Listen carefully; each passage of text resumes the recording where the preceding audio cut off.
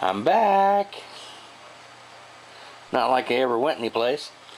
But this year, actually the upcoming year, I am offering the X2 tachometer kit for the Sieg X2 mini mill and the Harbor Freight mini mill as well as the Grizzly mini mill in two ways. One is I've always offered it ready to install and two as a kit where you drill, mill, and solder everything yourself. The only thing it doesn't come with is heat shrink tubing, which you should have some if you're doing soldering anyway.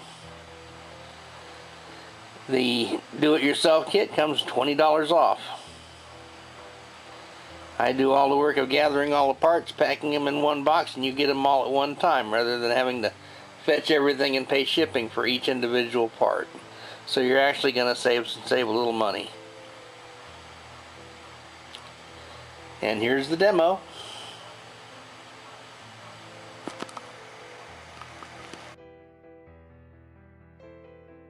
This is the X2 Harbor Freight Mini Mill tachometer.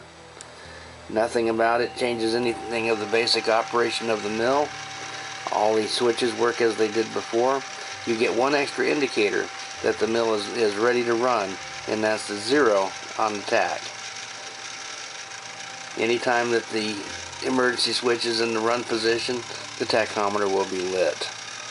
As always with my kits, the instructions are online.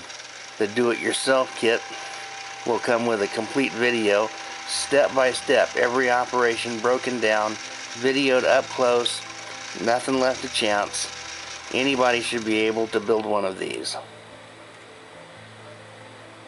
There will also be a downloadable PDF with a checklist so as you get each step done you can mark it off and keep your orders of operation in the correct order.